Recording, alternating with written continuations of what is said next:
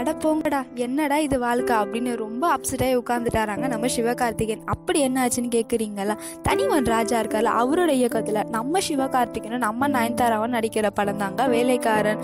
இப்போ அந்த படத்துக்கு என்னன்னு கேட்குறீங்களா இப்போ அந்த படத்துக்கு ஒரு புதுசாக ஒரு பிரச்சனை வந்துச்சுங்க. ஸோ இதனால நம்ம சிவா வந்து ரொம்ப அப்செட்டாகி உட்காந்துட்டாரு இந்த இந்த படம் வந்து என்னோடது இந்த படத்தோட திரைக்கதை வந்து என்னோடது அப்படின்னு ஒருத்தர் புதுசாக போய் நடிகர் சங்கத்தில் போய் கேஸ் போட்டுட்டாராம்.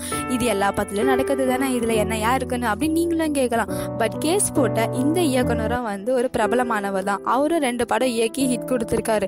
ஸோ இதனால நடிகர் சங்கத்தில் வந்து உடனடியாக ஆக்ஷன் எடுக்கணும். எனக்கு தகுந்த சன்மானமும் நஷ்ட ஈடும் வாங்கி கொடுக்கணும் அப்படின்னு அவர் கேஸ் போட்டுட்டார் போல அங்க. அந்த இயக்குனர் யாருன்னு தானே கேட்குறீங்க கல்வனின் காதலியும் மச்சக்காரனும் இயக்கிய தமிழ்வாணன் தாங்க. இதெல்லாம் நம்ம கேட்ட சிவா வந்து ரொம்ப அப்செட் ஆயிட்டு எனக்கு மட்டும் எங்கேருந்துடா இந்த மாதிரிலாம் பிரச்சனை வருதுன்ற அளவுக்கு ரொம்ப ஃபீல் ஆயிட்டா போல. இந்த உலகத்துல லக்கு அதிர்ஷ்டம் எல்லாமே போய் நமக்கு நடக்கிற வரைக்கும். மச்சான் உன் பிரச்சனைக்கு இப்ப பேரை மத்த நல்லது எனக்கு தோணுதுடா. இது பஞ்சாயத்துடா.